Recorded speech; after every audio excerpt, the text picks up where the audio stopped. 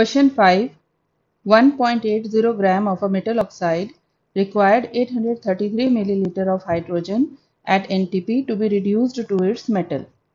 Find the equivalent weight of the oxide and the metal.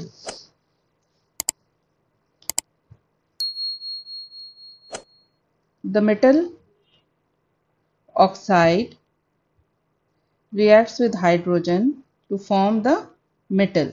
Weight of metal oxide is 1.80 grams. Volume of hydrogen used is 833 milliliter.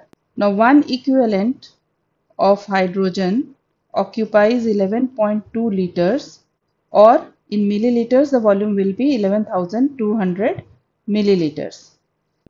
Now equivalents of metal oxide is equal to equivalents of hydrogen.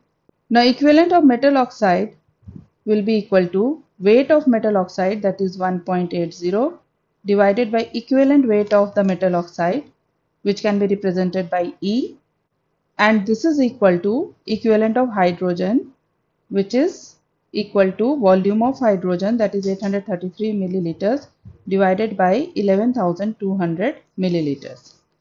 Solving this we get the equivalent weight of metal oxide equal to 24.2.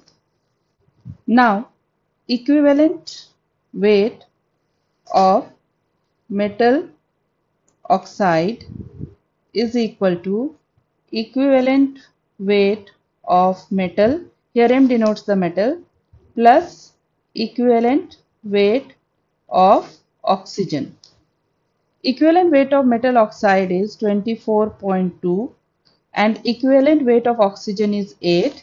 So solving this equation, we get equivalent weight of metal equals to 24.2 minus 8 which is equal to 16.2.